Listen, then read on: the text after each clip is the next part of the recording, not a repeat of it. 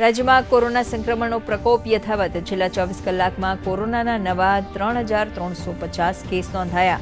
બસો છત્રીસ દર્દીઓ થયા સ્વસ્થ સૌથી વધુ અમદાવાદમાં એક હજાર છસો સાહીઠ કેસ, તો સુરતમાં છસો નેવું કેસ નોંધાયા. રાજ્યમાં ઓમિક્રોનના નવા પચાસ કેસ નોંધાયા.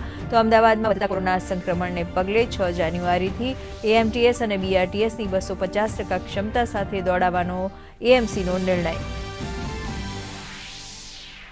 દેશમાં કોરોનાના નવા વેરિયન્ટ ઓમિક્રોનથી રાજસ્થાનમાં પહેલું મૃત્યુ. દેશમાં છેલ્લા આઠ દિવસમાં કોરોના સંક્રમણના કેસોમાં છ પોઈન્ટ ત્રણ ટકાનો વધારો. તો દિલ્હીમાં આજે દસ હજાર છસો બાસઠ નવા કેસ, તો મુંબઈમાં પંદર હજાર એકસો છાસઠ કેસ નોંધાયા. તો મધ્યપ્રદેશમાં વધતા કોરોના સંક્રમણને કારણે નવા પ્રતિબંધો. તો બીજી તરફ વધતા કોરોના સંક્રમણને રોકવા એક્શન પ્લાન ઘડવા મુખ્ય સચિવનો જિલ્લા કલેક્ટર અને કમિશનરને આદેશ. સ્વાસ્થ્ય મંત્રાલયે હોમ આઇસોલેશન માટે જાહેર કર્યા નવા દિશા નિર્દેશ સંક્રમણ થયાના સાત દિવસમાં અને સતત ત્રણ દિવસ તાવ નહીં આવનાર દર્દીને આઇસોલેશનમાંથી મળશે રાહત. તો હોમ આઇસોલેશન દરમિયાન ટ્રિપલ માસ્ક પહેરવા સ્વાસ્થ્ય મંત્રાલયનો અનુરોધ.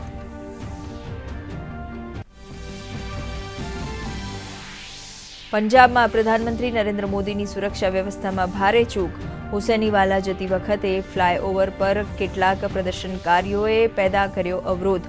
ફ્લાયઓવર પર પંદરથી વીસ મિનિટ સુધી ફસાઈ રહ્યા પ્રધાનમંત્રી. ગૃહ મંત્રાલયે રાજ્ય સરકાર પાસે માંગ્યો વિસ્તૃત રિપોર્ટ તેમજ કડક કાર્યવાહી કરવા આપ્યા આદેશ. તો ગૃહમંત્રીએ પણ સુરક્ષા પર ઉઠાવ્યા સવાલ. ઉત્તર પ્રદેશને વિવિધ વિકાસ પરિયોજનાની ભેટ સંરક્ષણ મંત્રી રાજનાથસિંહ અને માર્ગ પરિવહન મંત્રી નીતિન ગડકરીએ બાવીસ હજાર કરોડની પરિયોજનાનો કર્યો શિલાન્યાસ અને લોકાર્પણ. તો લખનૌ કાનપુર એક્સપ્રેસ વેનો પણ કર્યો શિલાન્યાસ.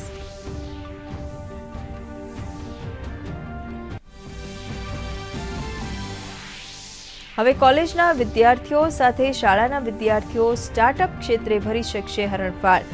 મુખ્યમંત્રી ભૂપેન્દ્ર પટેલની ઉપસ્થિતિમાં શિક્ષણ વિભાગ દ્વારા એસએસઆઈપી ટુ પોઈન્ટ પોલિસી કરાઈ લોન્ચ સીએમએ કહ્યું, આ નવી શિક્ષણ નીતિ પોલિસી નવા ભારતના નિર્માણમાં નિભાવશે મહત્વપૂર્ણ ભૂમિકા.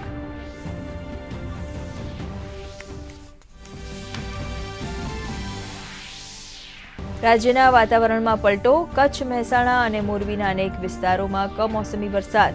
તો હવામાન વિભાગ દ્વારા આગામી ચારથી પાંચ દિવસ દરમિયાન વ્યક્ત કરાઈ માવઠાની સંભાવના. તો આ સાથે ઠંડીમાં પણ થશે વધારો. જ્યારે દ્વારકાના તમામ બંદરોના માછીમારોને દરિયામાં દૂર સુધી માછીમારી કરવા ન જવાની ફિશરીઝ વિભાગની સૂચના. યજમાન દક્ષિણ આફ્રિકા અને ભારત વચ્ચે રમાતી બીજી ટેસ્ટ મેચ બની રસપ્રદ. ભારતે ત્રીજી ટેસ્ટ મેચ જીતવા આપ્યો બસો ચાલીસ રનનો લક્ષ્યાંક. જવાબમાં દક્ષિણ આફ્રિકા બે વિકેટ ગુમાવી નોંધાવ્યા એકસો ત્રણ રન.